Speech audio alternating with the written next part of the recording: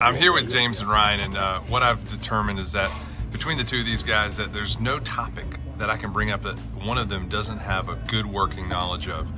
So the latest one was satel- the satellite phone. Tell them about the satellite phone that Elon Musk maybe is doing, or somebody else is doing. I don't know. Well, David, one of our sales reps, was talking about not having service in certain places, which is a problem for us here a lot of times in the mountains. Even with Verizon, we may have one bar, and you can't pull up an app like Parcel. You might not be able to check a set of plans or Right. something you've got stored in your drive. So Elon Musk, y'all probably heard about it. Tesla phone, Tesla everything. Now he's got a Tesla phone, and so this thing apparently is going to connect directly to the Starlink satellites, and you'll have service anywhere. It's like what parts of Africa or uh, uh, econ- economically ravaged places. They beam down uh, internet service to these places to try to get them some education, some information. So uh, I think it's cool stuff. Well, me and James, we want to have a phone that always works because lately here, sure. good old, what do you, who do you have?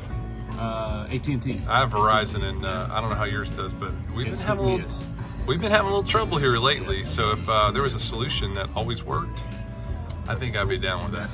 Yeah, All right. Well. Elon, if you're.